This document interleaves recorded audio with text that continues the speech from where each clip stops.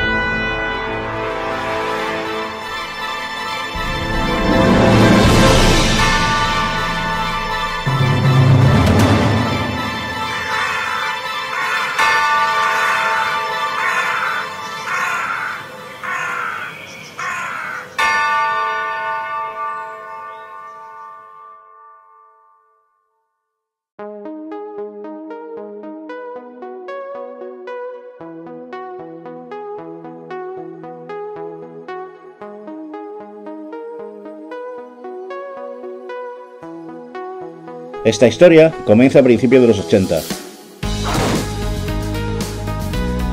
cuando yo me contagié con el virus de las artes marciales y comenzó mi pasión por las armas blancas. Salíamos de la época de oro de la competición.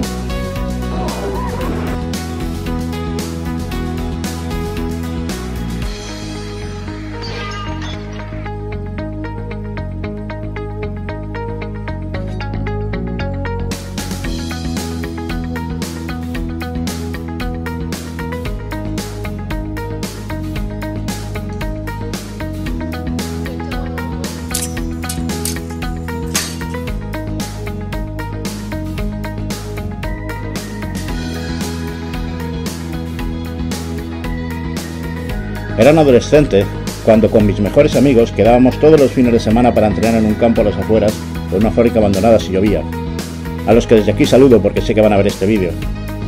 Si tienes ya ciertas canas y eres español, es posible que tú también comprases golosinas en el catálogo detrás de la revista Doyo o de Cimodán. Nosotros teníamos las mochilas llenas, y entre ellas teníamos un tanto de Casa Marto de Toledo, mi primer cuchillo.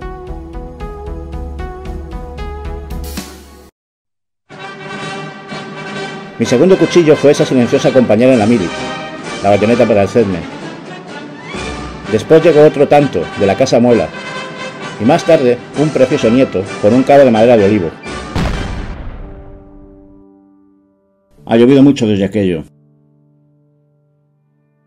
Y siempre me gustaron los tantos. Estos concretamente fueron traídos a España desde Filipinas a finales de 1800 por un militar español siendo parte de una pequeña colección de armas blancas que al adquirirlas nos comprometimos con sus familiares a que sus piezas nunca serían separadas. Por aquella época, poco después de salir del ejército, llegó a mis manos un cuchillo, del que ni recuerdo el nombre, tipo Bowie, grande, y lo que sí recuerdo es que tenía una gran muesca española. No sabía en ese momento la senda por la que la vida me llevaría con el tiempo. Cuando adquirí este gran cuchillo, ni me molesté en pensar en el porqué de esa muesca hasta que alguien preguntó por ella, y no sabía qué responder. Pero alguien lo hizo por mí. Es para que la sangre no llegue a la guarda, así no se resbala la mano del mango. Yo la doy por buena, pues tenía cierta lógica y sentido para mi gran ignorancia de juventud. Ahora no es que sea mucho más sabio, pero se aprende algo con los años. La verdad es que a mí esa muesca me interesaba un carajo, así que olvidé el tema. Tiempo más tarde presencié una discusión, una mañana de cafés en una terraza, antes de comenzar un seminario de artes marciales, sobre este elemento en las hojas. Cada uno o defendía una teoría o no se posicionaba con ninguna. Y esta vez me llamó mucho más la atención el tema, pues me sorprendió que de un detalle tan común no se supiese el origen con certeza. Pero Google no era aún lo que es hoy, y aún faltaba un rato para YouTube o Facebook, así que lo dejé pasar sin más importancia. No fue hasta años después que volví a escuchar otra discusión por la dichosa muesca, y parece que las mejoras en Google no solo no habían ayudado a encontrar la certeza, sino que al contrario, las había multiplicado. Ahora había muchísimas más teorías. Dado que ya habían pasado muchos años y yo trabajaba en esos momentos con muchas piezas en mano, un día me propuse, después de dar muchas vueltas a para qué podía servir esa dichosa mosca de demonio, me propuse, como decía, poner todas las teorías sobre la mesa y trabajar con ellas, con la intención de corroborarlas o descartarlas. Como dije antes, no sabía dónde me estaba metiendo. Y aquí cometí mi primer error. Escogí tres cuchillos con muesca que me despistarían durante largo tiempo. Luego explico el tema más adelante. Antes de continuar, te recomendaría que mirases el vídeo hasta el final. Teorías en estos años he escuchado muchas, algunas no merecen la pena comentario alguno, son un disparate. Resumiré para mí las que eran más importantes o las que tenían mayor difusión. Y vamos con la primera. Teoría del kukri y la sangre. Esta es la más exótica. Se basa en que igual que el kukri, esta muesca es para que la sangre fluya hacia el suelo y no a la mano. Lo he dicho antes, para que la mano no resbale del mango. Sería una buena teoría si no fuera porque no lo es.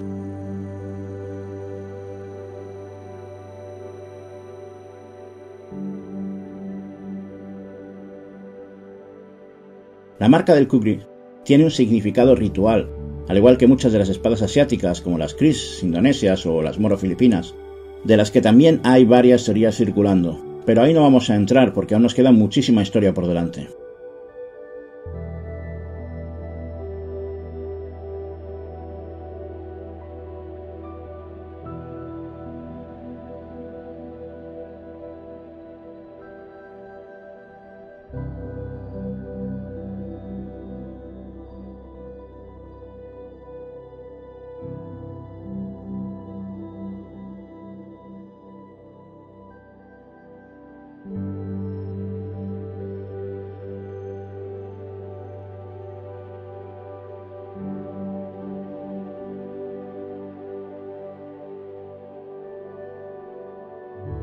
En el caso de nuestros cuchillos, la sangre fluye por la muesca española sin ningún problema hasta la bigotera, dependiendo de la inclinación del mismo.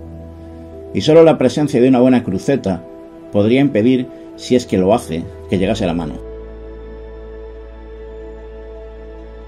La inclinación ha creado un camino húmedo por el que podría seguir el fluido aunque la hoja se ponga en horizontal. Pero como vemos, aún así el fluido, que es de similar densidad que la sangre, cae por su propio peso incluso antes de llegar a la muesca.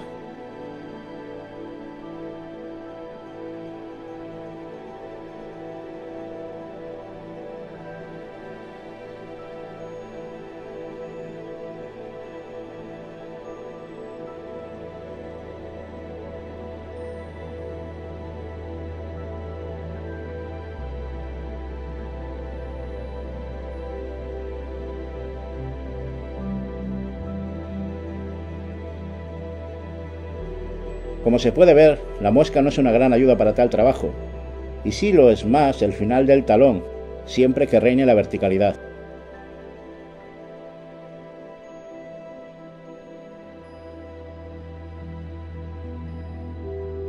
Teoría de la daga de vela o vizcaína. Esta es mucho más interesante.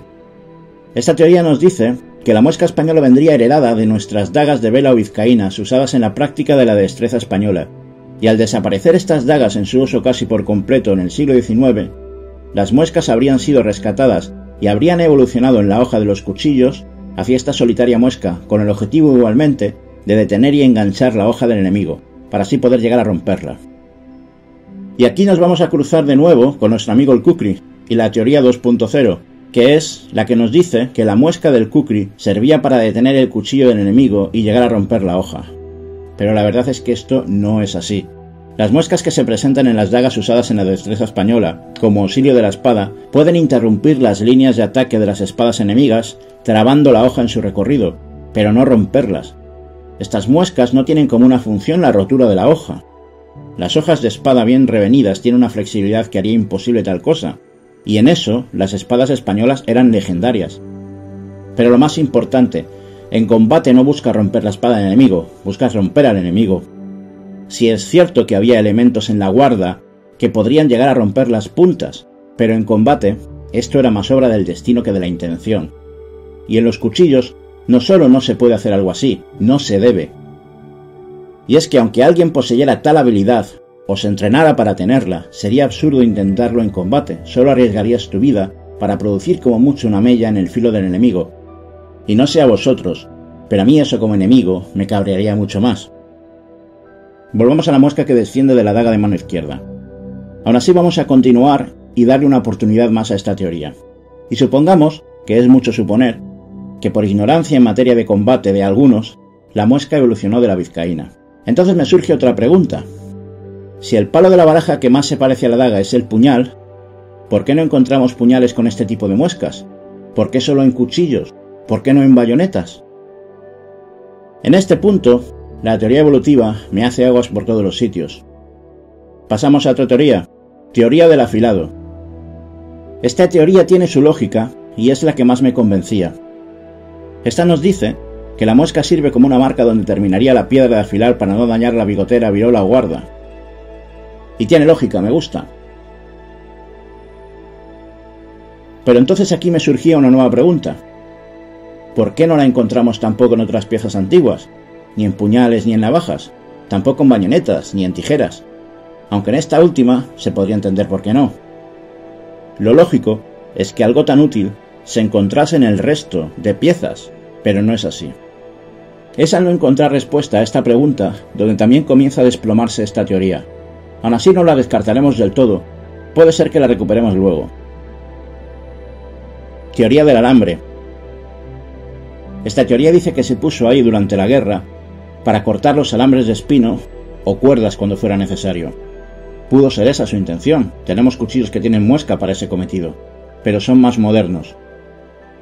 Y teniendo en cuenta que el alambre de espino fue patentado en 1868, hasta entonces solo era alambre normal, usado normalmente para delimitar granjas y cercar ganado, y no fue hasta el final del siglo XIX que el alambre de espino se pudo producir de manera masiva, que se inventara la solución antes de que llegase el problema descarta bastante dicha teoría. También hay quien dice que no tenía que ser para alambradas militares, que podía ser una herramienta más en el cuchillo para la fabricación de alambradas para la delimitación de terrenos, pero eso no tiene sentido. Para eso había herramientas especializadas más rápidas, cómodas y duraderas. De todos modos, las muescas que presentan los cuchillos españoles antiguos no tienen el grosor suficiente para ello, ni para cortar alambres, ni para cuerdas. Tendría que ser cuerdas muy muy muy finas, casi hilos, y además, para eso está el filo. Esta teoría se desploma también. Teoría de la calidad. Esto es otra teoría interesante. Era una mella que provocaba al artesano para comprobar si el forjado tenía la calidad necesaria, mirando el color del templado en la mella. Curiosa teoría, yo no forjo, y hace mucho que aprendí que cada uno ha llegado a este mundo para cumplir una función, y la mía, por falta de habilidad, no son dos de las cosas que más me gustan en esta vida, la forja y la guitarra. Así que ya hace tiempo que hice las paces conmigo mismo y solo me dedico a disfrutar la música y las piezas que otros hacen. Aún así, con lo poco que sé de forja, me parece muy extraño que un maestro forjador necesite mellar una pieza para comprobar tal cosa. Y aunque así fuera, yo recordaba que algunas de las muescas que había visto en la cuchillería antigua eran piezas realmente espectaculares. No me entraba en la cabeza que alguien con tal maestría necesitaba mellar una de sus piezas. Me parecía que esta teoría moría en ese punto. Otra teoría es la de disimular defectos. Pero yo digo, ¿es que acaso el defecto siempre acaba en el mismo punto? Lo mismo que lo anterior, esta teoría también hacía aguas. Teoría de la pereza. Para no tener que hacer bigotera o recodos por pereza o por falta de habilidad y conocimientos, y así facilitar el trabajo ahorrando tiempo, el artesano ponía esta muesca para delimitar la superficie del afilado. La verdad es que yo no le encuentro ni pies ni cabeza. Podría ser, pero regresamos al mismo punto de antes. ¿Fabricar una pieza tan hermosa y elaborada y no tener el nivel para trabajar el acero? Aunque otro le hiciera el mango, ¿qué maestro querría poner uno de sus mangos de alta calidad y una vaina a la altura de la misma en una hoja de mala calidad? Yo no lo haría. Y aún más, ¿quién querría comprar un cuchillo mediocre pero caro? No lo sé, no tenía sentido para mí. Quizás esto sí tenga un punto de verdad. Si nos fijamos, en este caso tenemos lo que parecen muescas españolas, pero no es así, en realidad es una ausencia de bigotera. Estas piezas seguramente se habrían preparado para poner una bigotera, pero en ocasiones nos encontramos así, unas veces por pérdida de la bigotera y otras porque nunca fueron puestas. Pero no creo que sea por pereza, creo que tan solo era una opción de pieza más económica, a veces al tener menos trabajo que hacer o por una ausencia de materiales. Hasta el momento, había estado trabajando en la teoría con tres cuchillos que tenía en mano más modernos, fechados entre los años 1970 y 2000 aproximadamente. Como dije antes, este fue mi primer error. Había llegado el momento de buscar muescas españolas entre las piezas y estudiarlas, a ver si encontraba la diferencia entre las armas más antiguas y las más modernas. ¿Y cuál fue mi sorpresa cuando no las encontré? Y no me refiero a las diferencias, sino a las muescas. Al igual que ocurría con puñales, navajas y bayonetas, estas no aparecían en ningún cuchillo. Me pasé horas, días, semanas revisando y buscando entre las piezas españolas del siglo XVI al XIX sin ningún éxito. Revisamos casi 5.000 piezas en mano y las fotos de las piezas que habían estado pasando a lo largo de los últimos años por nuestras manos y no encontramos ningún cuchillo español antiguo con lo que se consideraba una muesca española. Sencillamente parecía que no existían. Y aquí necesito aclarar algo. Como he dicho, cuchillos españoles comprendidos entre el siglo XVI y XIX, no americanos o de otro país del continente europeo. Y si estás pensando que has visto cuchillos con muescas españolas antiguos, cuidado. Muchas fotos que corren por internet están mal datadas, en fecha, en origen o en tipo de pieza. Muchos supuestos cuchillos antiguos solo están sucios, descuidados o son falsificaciones o reproducciones. Y muchos son modernos, de gente que toma las fotos desde un punto en Internet, se comparte mil veces y se distorsiona su verdad mil veces más. A veces solo es una identificación errónea sin mala intención, todos cometemos errores. Por eso hay que tener mucho cuidado con lo que circula en la red. A diario veo malas identificaciones de piezas. Seguimos. Como decía, yo recordaba haberla visto y haberla tenido en las manos en su momento, o, solo era un falso recuerdo. Me fui a los libros y me ocurría lo mismo. No encontraba muescas españolas por ningún sitio. Tengo libros muy antiguos y en ninguno venía nada. Ni siquiera encontraba referencias escritas a ellas en los libros anteriores al siglo XX. Tampoco los viejos catálogos de subasta de piezas, americanos ni europeos. Nada sobre la muesca española y ningún cuchillo español con muescas españolas. Después de mucho tiempo de búsqueda y frustración, llegué a un punto muerto. Y entonces, la dura realidad de la evidencia hizo que la pregunta cambiase. ¿Y si la muesca española en realidad no era española? Porque sí es cierto que hay algún Bowie estadounidense de finales del siglo XIX que la tiene, también algún Bowie mexicano. ¿Y si lo único español era el nombre?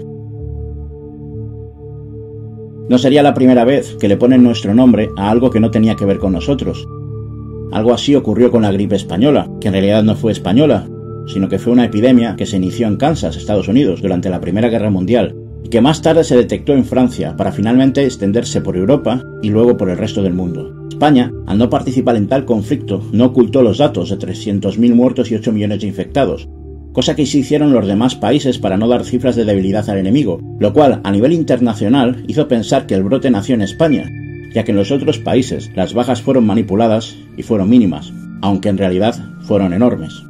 ¿Y quién no ha viajado por el mundo sorprendiéndose con recetas a la española, o a la mexicana, o a la portuguesa, que nada tienen que ver con el país al que mencionan? El caso es que aparecen algunas hojas, no muchas, con esta muesca en el continente americano, sobre todo en bowies mexicanos y norteamericanos, como he dicho antes, de finales del siglo XIX y principios del XX, y cuchillos de corte militar consecuencia de las grandes guerras. Pero me encontraba con un problema. Muchas veces encontramos extrañas muescas, siempre en piezas más modernas, que no tienen nada que ver con la muesca española. A veces solo son adornos y a veces sí tienen una procedencia histórica. Esto ocurre, por ejemplo, con un detalle en la cuchillería italiana antigua, la cual tiene piezas realmente espectaculares y de una elaboración en detalles exquisitos. En ella podemos encontrar lo que a primera vista podría ser una muesca española, pero no lo es. En el talone, el talón de la hoja, sobresale un pequeño gancho, cuyo nombre es Pontino Revechito, típica en piezas muy antiguas, la cual ha sido erróneamente identificada muchas veces como una muesca española. Y como digo, no lo es. Es un detalle propio de la cuchillería italiana. También se encuentra en los cuchillos corsos. De hecho, se ve hoy en día piezas modernas a las que se le aplica este adorno con el nombre de muesca española, y es un error. En ocasiones nos encontramos el pontino revechito combinado junto a lo que entendemos como una muesca española, con los que el artesano juega con su imaginación. También encontramos unas terminaciones en el talón de la hoja, típica en la cuchillería canaria, argentina, uruguaya, incluso en México, y ha sido asociado con la muesca española, y que no se parece en nada al tipo de muesca del que estamos tratando ahora. Recuperaremos este tema más tarde. Y es que hay una cosa que dejar muy clara, que no toda muesca o ranura que tenga la hoja tiene por qué ser una muesca española. Hay que entender que en las últimas décadas la proliferación de artesanos fuera de gremios típicos del pasado, sin ningún tipo de restricción a la hora de fabricar piezas, ha provocado en los modelos clásicos una fusión, cambios y modificaciones de miles de formas diferentes. El acceso a libros, fotografías de calidad y en color, y más tarde Internet hace que el artesano de un punto del planeta pueda hacer piezas que son típicas de sus antípodas. Por lo que hoy podemos encontrar todo tipo de piezas hechas en cualquier parte. Por eso, el coleccionismo de muchas armas antiguas muere en parte en el siglo XIX, ya que el siglo XX y el XXI lo han cambiado todo. No es una crítica negativa, es algo natural, es evolución, es la vida. Muchas veces vemos muescas que son denominadas españolas, tienen espirales y formas de fantasía cuyo límite solo lo pone el artesano. Pero este intercambio también se dio en el pasado. Aquí podemos ver un cuchillo muy especial. La hoja es genovesa del siglo XVIII, aproximadamente 1750, pero su mango es de jaula o columnillas, típicamente español del siglo XVIII. Sabemos que hubo artesanos genoveses que ponían este tipo de mangos a sus cuchillos, y asimismo artesanos españoles que incluían detalles italianos en los suyos. Si nos fijamos, podemos ver claramente el pontino revechito que sobresale de la hoja. El hueco que queda entre el pontino y el final del talón de la hoja nos puede recordar a una muesca española, pero tan solo es el hueco que queda en la hoja, consecuencia de la incisión y separación de la hoja del pontino.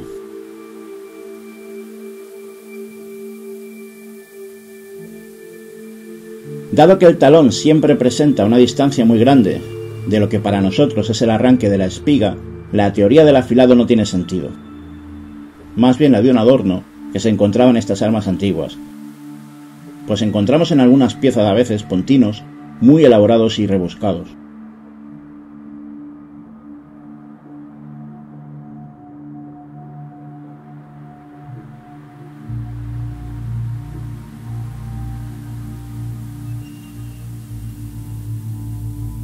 Aquí vemos por el contrario una pieza española que posee el pontino en la bigotera, una rareza que podría hacernos replantearnos la procedencia española de esta pieza.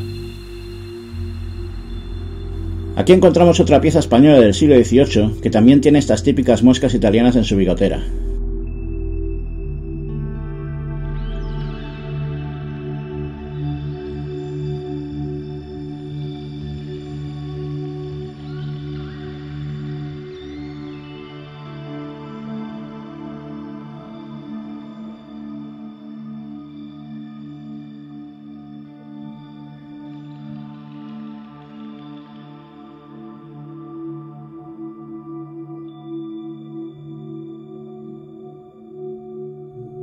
Así que volviendo a la búsqueda de una solución al misterio de la bendita muesca, me había obligado a recurrir a documentos y finalmente encontré.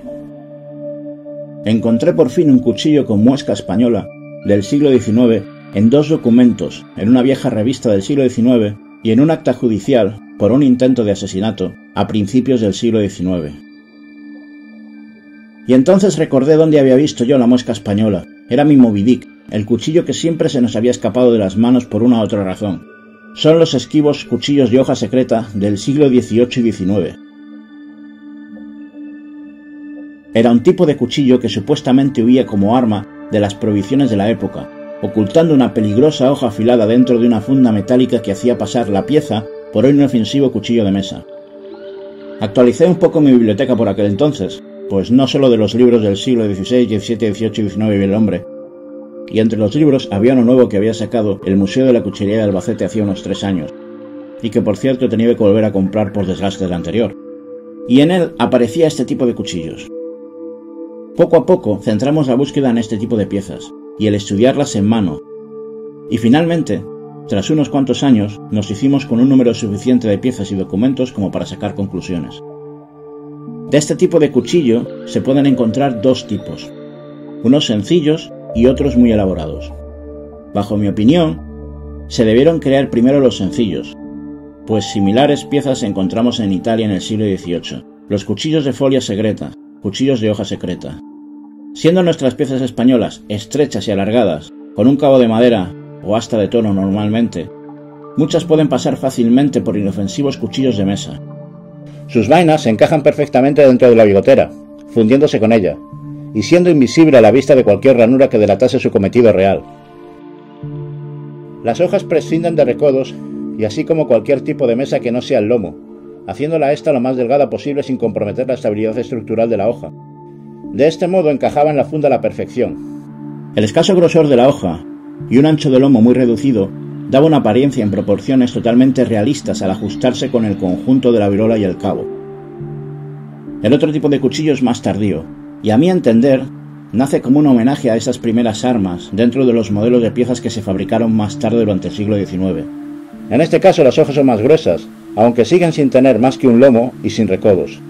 Pero sí suelen presentar hermosos calados y burilados, e incluso lengüetas. Estos además se fabrican con una novedad, una pestaña que al cerrar el cuchillo se ajusta a la vaina con más seguridad, eliminando el peligro de salirse por sí misma en su porte. Por otro lado, los mangos son los mismos que usan otras piezas del siglo XIX, mucho más elaborados y recargados.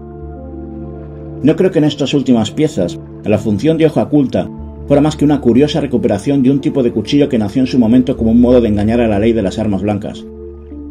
Algo parecido a lo que nos ocurrió con las navajas de punta cortada en España, cuando Sagasta promulgó una famosa ley contra las navajas y sus puntas.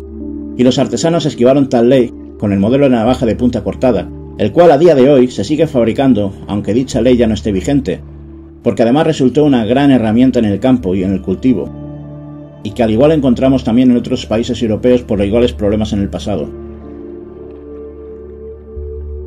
Estos cuchillos llamaban demasiado la atención y sería imposible que la Guardia Civil de entonces pasara por alto un cuchillo de este tipo, y eran piezas conocidas. Y por eso mismo, si tu objetivo es llevar una hoja oculta para asuntos turbios, llevar una hoja discretamente ocultada y un mango que va llamando la atención, por la riqueza del diseño y el volumen del mismo, tiene muy poco sentido. Eran más bien piezas para gente pudiente, y considero que más para tener en casa o lucir en ciertas ocasiones que para portar por la calle en el día a día por un humilde trabajador. Los modelos más antiguos, simples, son muy escasos. No llevan la muesca, porque no suelen tener bigoteras ni recodos, y su lomo no tiene más mesas. Son tan parecidos a los modelos italianos que a veces cuesta distinguir. Del modelo del siglo XIX nos encontramos que la bigotera no es tal, sino que hace de brocal, garganta o boca de la vaina, para que ésta encaje y la ocultación sea más perfecta. Entonces ya creo tener la respuesta. La muesca es solo necesaria para los modelos con bigotera de brocal, pues el afilado, si daña el brocal, podría dejar de encajar y se descubriría fácilmente el engaño. Y cuando ya quería tener la respuesta, apareció la piedrecita que paró el engranaje de la teoría en seco y la hacía caer parcialmente cuando descubrimos que hay modelos con brocal, de bigotera, que no tienen la muesca. Volvíamos a un punto muerto. Así que en resumen, tenemos que en la cuchillería española no aparece la dichosa muesca en los cuchillos hasta empezado el siglo XIX, que dichas muescas solo aparecen en cuchillos de un solo tipo y en ninguna otra pieza más, y que de este tipo de cuchillos solo aparecen en un modelo tardío concreto. Entonces solo me queda analizar profundamente los cuchillos y descubro que la muesca siempre coincide con todo cuchillo que lleve la pestaña de presión para la apertura, o sea, siempre en los tardíos.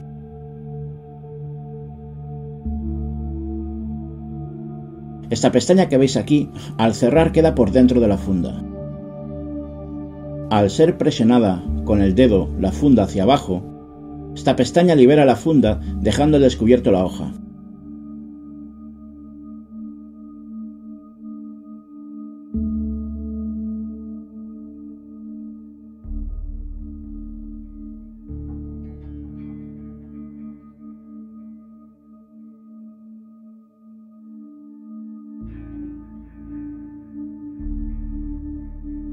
La vaina se construía de una sola pieza de metal, a la que se le daba forma y se cerraba con una línea de pasadores o fieles a lo largo de su parte más estrecha, la que albergaría el filo. Todos estos fieles seguían una línea separados unos milímetros de otros. Esta línea se igualaba, se pulía y se afilaba, quedando la vaina como un verdadero primer filo cortante, y se pulía de tal modo que los fieles pasaban totalmente desapercibidos a la vista, como podéis ver, es un trabajo de maestría increíble.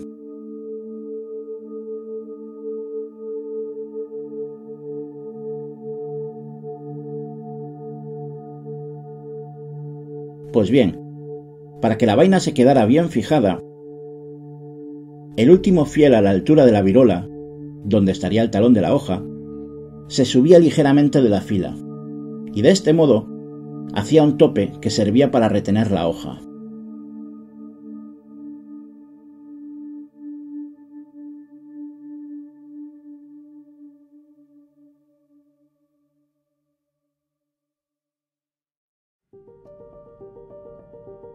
Y aquí es donde llegamos al kit de la cuestión.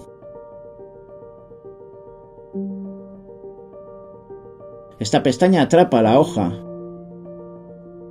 con la ayuda de este pequeño pasador.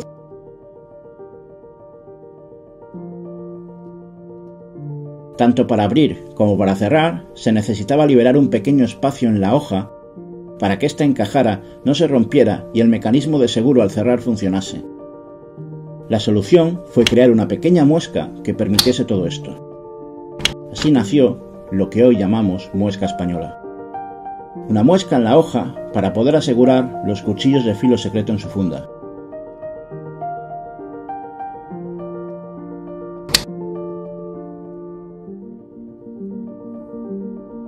¿Por qué se pierde este dato en la historia? Lo paradójico es que mientras el cuchillo se perdió en el olvido, la muesca sobrevivió al cuchillo. ¿Por qué? Varias pueden ser las razones. La primera es que nos encontramos ante una de las piezas más escasas dentro de la cuchillería española, añadido a que no era una pieza económica y hacía más difícil su popularización. La segunda, que a finales del siglo XIX los talleres pequeños cerraron sus puertas con la entrada de la gran mecanización, dejando de producir esta pieza, y con el tiempo estadísticamente sobreviven más piezas que vainas. Estas son en concreto extremadamente delicadas. Se estropean con facilidad si no se cuidan bien de ellas. Se abrían los fieles, dejaba de encajar por la expansión del metal o golpes en la misma, por humedad. Esta última, la humedad, atacaba muy duramente a estas piezas, ya que al estar tan pegada la hoja a la vaina, para que quedase bien disimulado dentro, los atascos por oxidación o contracción del metal eran muy comunes, y en muchas ocasiones liberar la hoja significa romper la vaina. Muchos de los que han caído en nuestras manos estos años con vaina llegaban completamente atascados, necesitando tiempo y un trabajo de paciencia para liberar las piezas y romper la vaina. Esto hizo que a principios del siglo XX había un número muy escaso de cuchillos, pero más aún de vainas,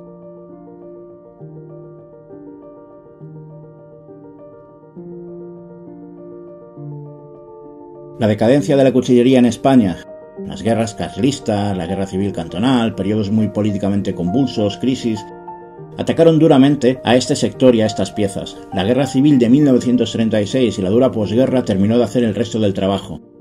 Inmensas cantidades de archivos que se albergaban en las iglesias o monasterios, ayuntamientos y casas particulares, que muchas veces eran las encargadas de conservar todo tipo de documentos, fueron destruidas por bombardeos, por fuegos, Mucha de la información también sirvió de alimento para el fuego, cuando el frío atacaba en los duros años de posguerra.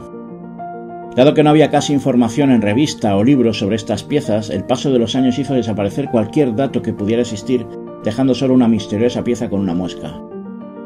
¿Cómo llegó la mosca a continuar en el siglo XIX? Es un pequeño misterio. Pero lo que es un hecho es que la mosca reaparece en América, como he dicho sobre todo en algún Bowie tardío del siglo XIX.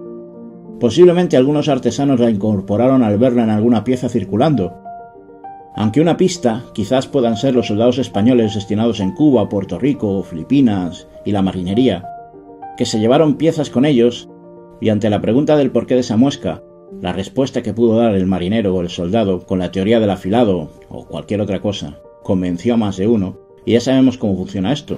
Si hay demanda se fabrica.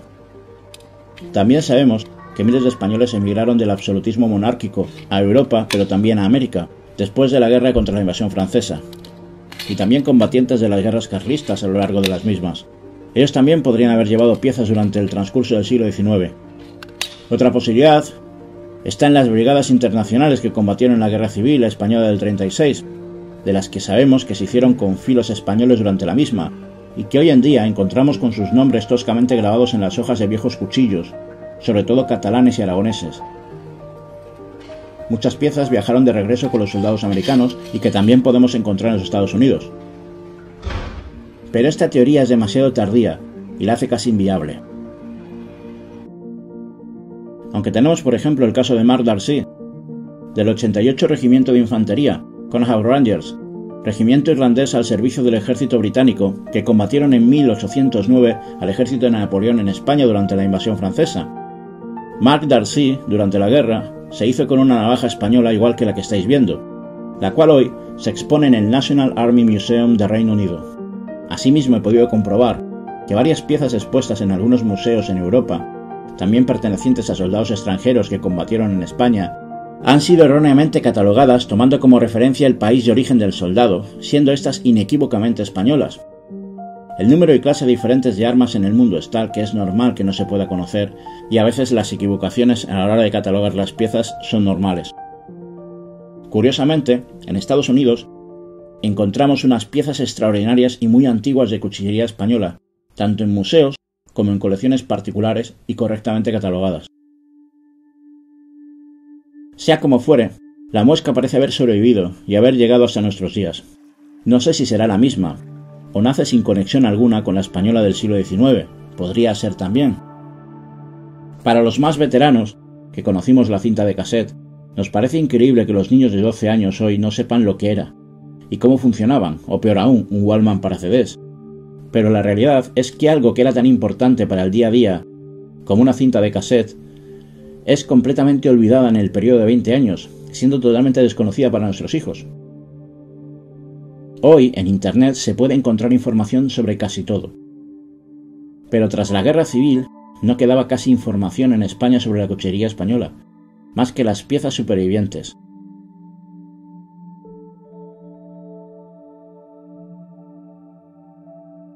Creo que si la muesca sobrevivió, fue como un método que el afilado no dañara la bigotera. Y la falta de un dato histórico escrito levantó con el tiempo muchas liebres que no sabían hacia qué dirección corrían. Y si volvió a nacer de cero, a finales del siglo XIX, fue por lo mismo. Pero la realidad es que antes del siglo XIX no se encontraban muescas españolas en la cuchillería española, más que en el cuchillo tardío del filo secreto como hemos visto. En ningún otro, ni en cuchillos, ni en puñales, ni en navajas, ni en bayonetas.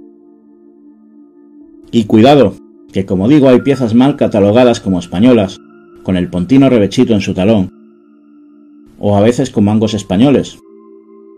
Y es que el verdadero misterio no es para qué sirve, eso creo que ha quedado claro, sino en qué momento ésta surge en América. Así que esta es la historia de cómo un pequeño pasador, que no mide más de un milímetro, ha generado uno de los mayores misterios de la cuchería española, y de alguna manera del mundo. Muchas gracias a todos, soy Riz el Viejo y esto es... Espera, espera, espera, espera, no tan rápido. Algo que no he contado, para no mezclar dos historias al mismo tiempo, es que al empezar mi búsqueda, poco tiempo después se abrió una línea más de investigación paralela, ya que me di cuenta que de un lado tenemos la típica muesca pequeña que hemos visto perteneció al cuchillo de hoja secreta, pero hay otra que no es una muesca, sino una terminación del acabado en la hoja, y que aparecía constantemente en diferentes épocas y continentes, y a la que se le ha denominado también muesca española en algunas ocasiones. Y sinceramente, la posibilidad de que esta pequeña muesca del cuchillo secreto viajase a América y crease una historia tan grande no llegaba a convencerme del todo.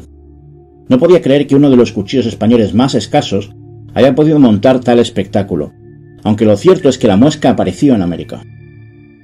Importante, lo que viene a continuación es la conclusión a la que he llegado tras unir las diferentes piezas de un puzzle que tenemos, y a la que yo llego en base a hechos. ¿Os acordáis que comenté antes que también encontramos una terminación del talón de la hoja típica en cuchillos canarios, argentinos, uruguayos, etc., y que ha sido asociado con la muesca española? Recuperemos el tema ahora. ¿Cuál es la característica que tienen las hojas hispanas que no tengan otras? Y la respuesta se encuentra aquí. Si damos la vuelta al cuchillo para verlo mejor. Hace ya muchos años puse mis ojos en un cuchillo canario, pues esta terminación, a la que ellos llaman barbilla, forma una especie de muesca en el lateral del talón de la hoja, y me sorprendió que el artesano se refiriese a ella como una muesca española, porque no era la primera vez que lo escuchaba referido a ese detalle en otros cuchillos, y lo interpretaba siempre como una errónea identificación más, como tantas otras, pero era la primera vez que lo escuchaba en España de boca de un artesano, y eso me hizo tirar del hilo.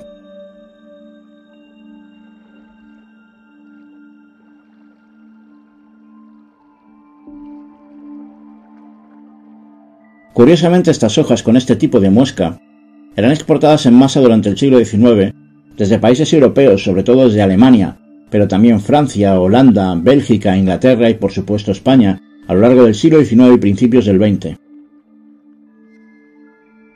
Pero esta forma en la hoja la encontramos anteriormente en la cuchillería italiana del siglo XVIII y XIX que vimos antes, en la cuchillería corsa, y también se les atribuye procedencia flamenca. Las rutas que seguían estas hojas desde sus fábricas en los países europeos pasaban además todas por las Islas Canarias, donde posiblemente algunas de estas hojas pudieron quedarse durante el siglo XIX, aunque no lo sabemos. ¿Y dónde es el único punto del territorio español que encontramos este tipo de terminación en la hoja en los cuchillos españoles? En las Islas Canarias. ¿Es posible que alguna de estas hojas se quedara en el siglo XIX y diera lugar a la hoja del cuchillo canario? No lo sabemos. O quizás ya estaban en Canarias y fueron llevadas a América. Sabemos que a partir de 1730 la migración canaria se estableció en Texas, Florida, Luisiana, más tarde en Venezuela, Panamá, Chile y Uruguay, aunque en Argentina no fue demasiado elevada por aquel entonces. En Colombia hay registros de una gran expedición con más de 700 canarios en ella en el siglo XVI. Es una hipótesis difícil, ya que no se encontró ninguna pieza tan antigua en Canarias, y tendría que aparecer nuevas piezas o datos. Los cuchillos canarios actuales, aunque se tienen las primeras referencias en el siglo XIX, se les supone una evolución mucho más larga en el tiempo, como es normal, no solo con la conexión con las hojas europeas, sino también con sus parientes más cercanos en África, pero por desgracia aún nos falta información. Como dije en el vídeo anterior, el cuchillo canario humilde en su reino de islas es una de las piezas más interesantes que podemos tener en España. Estas hojas pudieron llegar también con los inmigrantes italianos, los cuales migraron en un buen número hacia todo el continente americano a lo largo de todo el siglo XIX. El problema está en que las exportaciones de hojas con esta muesca en Hispanoamérica también son muy tempranas, lo que nos hace pensar que esas hojas ya estaban a finales del siglo XVIII o con total seguridad a principios. Y es que en Argentina, Uruguay y Brasil los gauchos portan unas hojas con el mismo botón, que es como allí se denomina esta parte. Por ejemplo, los cuchillos de cinto y los berijeros, llamados así porque se portaban en la parte delantera de la cintura mirando con la punta hacia la vejiga del gaucho, tienen esta particular característica, muy similar al pontino italiano.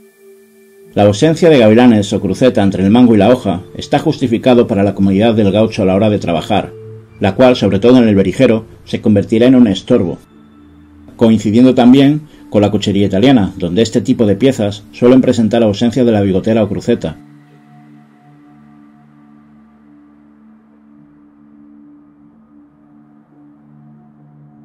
Y una curiosidad más está en la similitud entre la vaina de los cuchillos canarios y gauchos.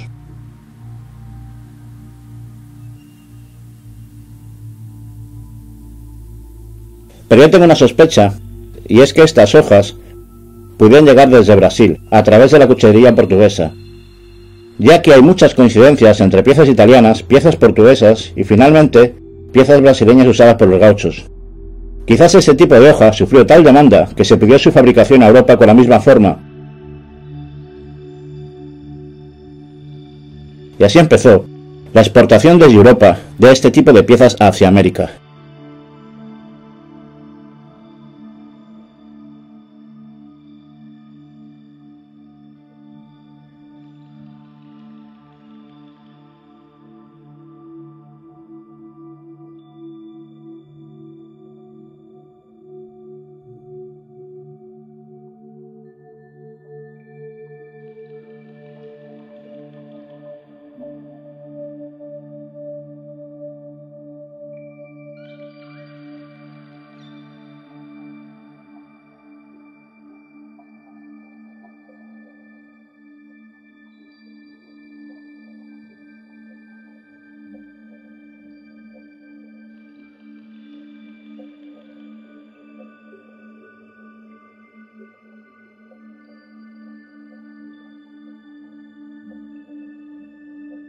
Dado que exportar las hojas limpias sin mango ni funda, solo la hoja y la espiga sin crucetas, es más económico y para un artesano encavar y fabricar la funda con los materiales de la zona es más sencillo y abarataba más el coste del proceso, este tipo de hoja, que no necesita cruceta y que el propio talón de la hoja es el que hace de guarda, es perfecta para el trabajo de los gauchos.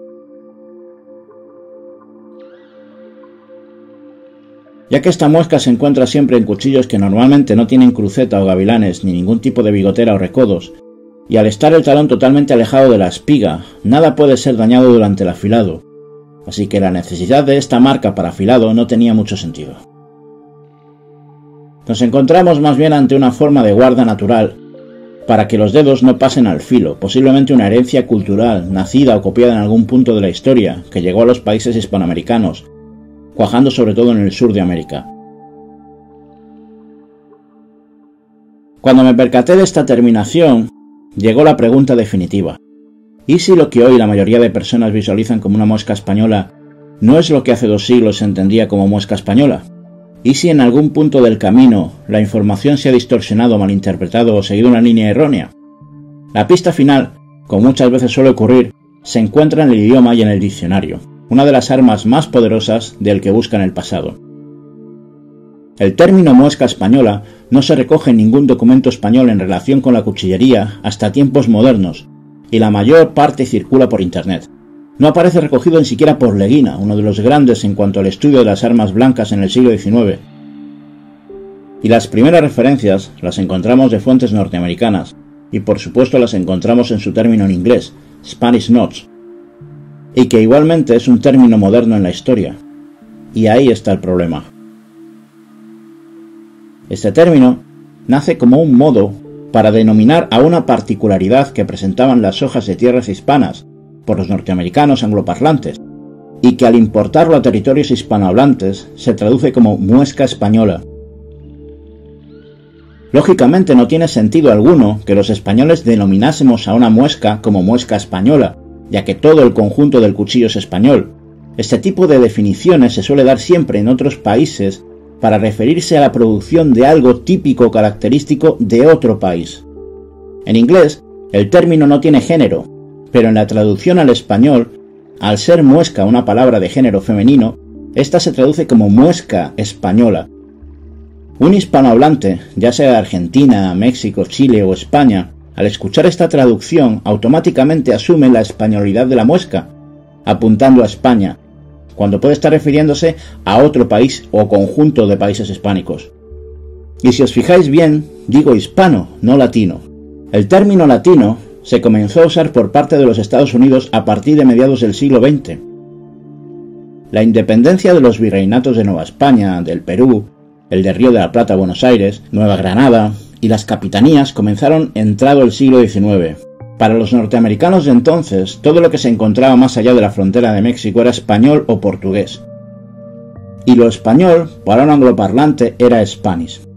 La independencia de dichos países no significó un cambio inmediato en la forma de dominar a sus habitantes. Para los angloparlantes eran españoles independizados que hablaban el español.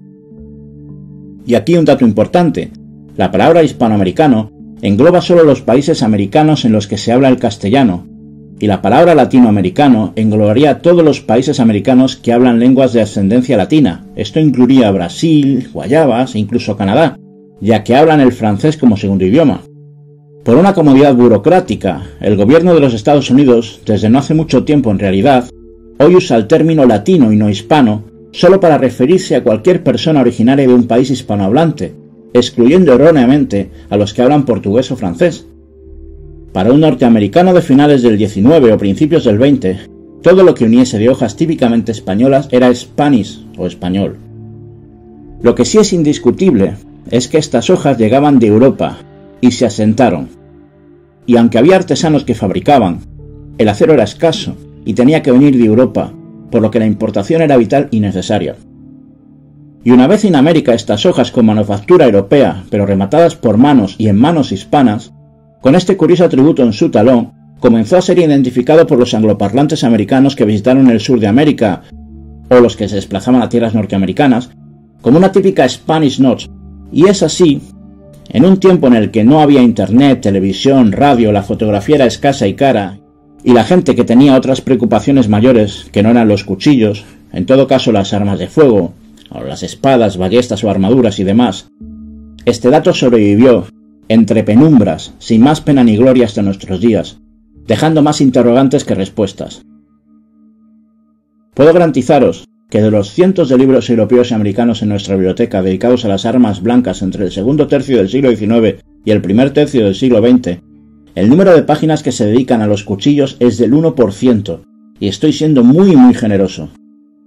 Con el tiempo, todo lo que se hiciera a un cuchillo en su talón fue considerado desde mediados finales del siglo XX como una muesca española, y la falta de información real sobre cuál era la función de la misma no ayudó a esclarecer este caos.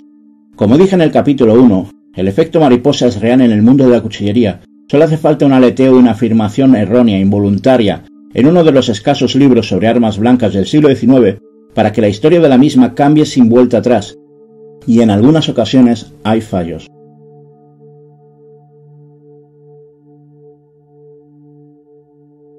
Os pondré un ejemplo. Si pensamos en Fernando de Magallanes y hablamos de su muerte, lo primero que nos vendrá a la cabeza es que Lapu Lapu lo mató con su campilán en las Islas Filipinas, porque hemos escuchado este relato incluso en el canal Historia. Pero la realidad es que Lapu Lapu no se vio las caras con Magallanes en un combate cuerpo a cuerpo, y aún menos fue derrotado por su campilán. El italiano, Pigafetta, uno de los miembros de la expedición que se encargó de escribir un diario de todo lo importante que sucedía durante el viaje, y única crónica del hecho, nos describe cómo los guerreros de la tribu lo hirieron primero con flechas, luego con lanzas, y que éste recibe un golpe de espada, pero que finalmente muere rodeado por un grupo, sabiendo estos que era el jefe, y lo mataron con todas las armas que llevaban en las manos. Pero en ningún momento se nombra en la crónica que se enfrentasen cara a cara Magallanes y Lapu Lapu, y éste le diese muerte con tal arma. Ese dato ha sido incorporado tiempo después de la nada, y hoy tomamos esto como un hecho histórico. Y en el hipotético caso de que Pigafetta mintiese y realmente no pasase así, cosa que es improbable, no importa, sigue sin haber un dato escrito sobre tal hecho. No se podría usar esa información si se quiere ser honesto. Aquí ni siquiera hay un fallo en el registro histórico escrito, aquí la información es directamente obviada, sin importar lo que digan las crónicas escritas. Así que mi conclusión final es que tenemos un tipo de muesca en España que solo existió en un tipo de cuchillo casi olvidado, y que parece reaparecer en América del Norte sin ningún motivo claro. Que hay un montón de muescas que en realidad son adornos modernos, y otra que sí nos llega del pasado, de la cuchillería italiana posiblemente, corsa o flamenca, que sí encontramos en una pieza española normalmente, el cuchillo canario, y a la que los norteamericanos dieron un nombre, y después nosotros compramos y tradujimos dicho nombre, para después perderlo en un mar de confusión. Y que el misterio no está en para qué servía, el misterio está en cómo llegó a nosotros. Está claro que hoy los cuchillos modernos han establecido un uso totalmente coherente para esta muesca, para delimitar el afilado, para cortar cuerdas, alambre, como mero adorno. Y también se han incorporado herramientas más modernas. Y bueno, aquí termina esta historia por el momento. Creedme que por no alargar este vídeo más me veo obligado a omitir mucha información y a resumir la que os he dado. He tratado de hacer el vídeo lo más ameno posible. Y sí, podría haber resumido todo en un minuto, pero como ya dije al final del anterior vídeo, más se aprende por el camino recorrido y por los fallos que por el objetivo a conseguir. Ahora sí, muchas gracias a todos, soy el Viejo y esto ha sido Antiguo Acero Español.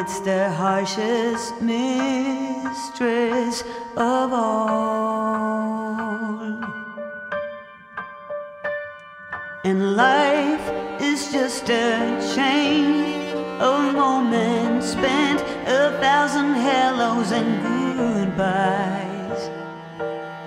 Maybe a love like ours can lead out its call.